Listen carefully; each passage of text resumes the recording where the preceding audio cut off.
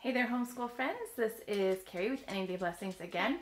We just got home from the pool again. Got the frizzy pool hair going on again. The kids are over here at the counter. What are you guys doing? Doing puzzles. Doing puzzles. Puzzles at the counter. We just finished up lunch and I got the mail and I just want to show you this real quick. So this is like really impromptu, not planned, real life sort of thing. So I just got the mail and I've been really excited to show you what we're going to do for reading in grade three because I just couldn't find like an all-in-one program and I really didn't want to just like pick books out kind of, you know, on the fly. I wanted to have some sort of a plan that we could change if we wanted, but I wanted to start off with some sort of a plan. And the more I thought about it, the more I thought, you know, I really, really love book links from BJU Press. Why not just make up, you know, a year full of book links, you know, or something?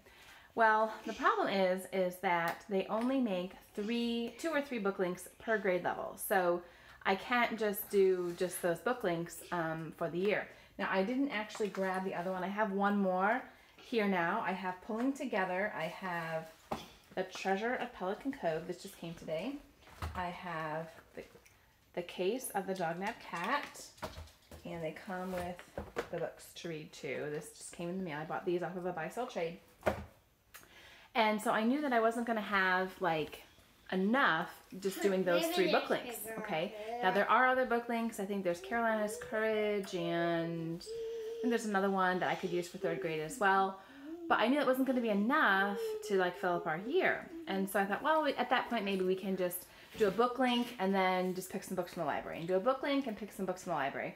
But then I happened to find um, Moving Beyond the Page. Have you heard this? It's you know, it's out there. I've heard about it before.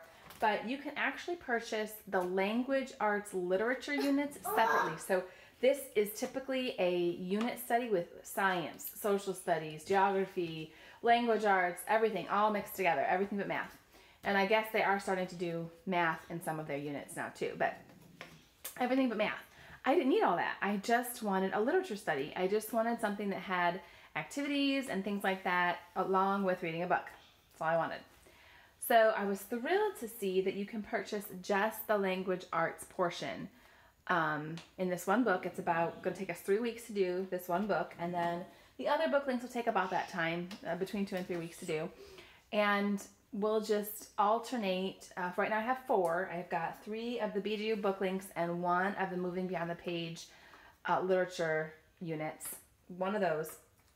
So I've got four units or four literature studies ready to go. And then I have a whole list that I will be sharing on my blog of the other books that I'd like to pick up from the library. So that's my plan right now. I'm really excited about it. I will happily flip through any of these things that I just showed you, but I just wanted to kind of let you know my plan because I've been telling you that I'm doing something different for reading this year and these came in the mail today and I just thought I'm just going to come on and show them to you. If you want to see a flip through, leave that below and I will certainly do that.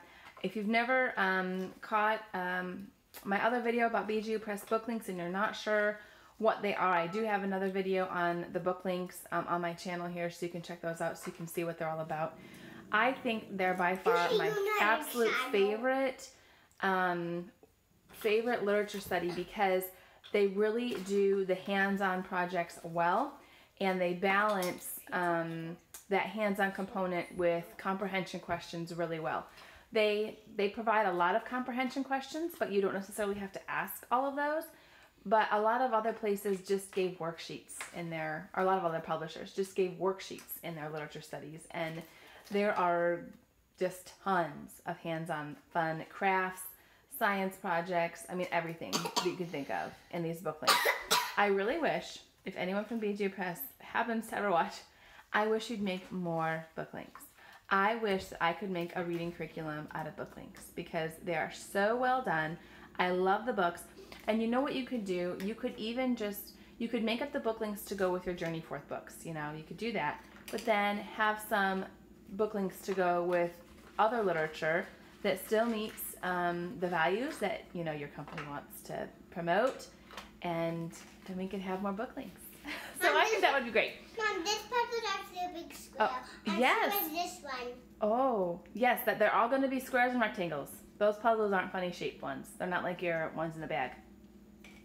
So we are just gonna go and we are going to have fun looking at these and start our next read aloud, which will be A Question of Yams, which is also a Journey Forth book from BJU Press. I love their little chapter books, their little beginning um, books for read alouds because they still have pictures in them a lot of the, a lot of the times, and I love the message of the books. They really have good um, themes and content that I just feel comfortable not even having to preview them before. And that's that's a real blessing to a busy homeschool mama. So I will leave the link below for the Journey Forth books if you want to check that out, or BJU Press uh, book links. I will leave the Moving Beyond the Page link below. If I remember, if I forget, just someone tell me that I forgot to leave those links.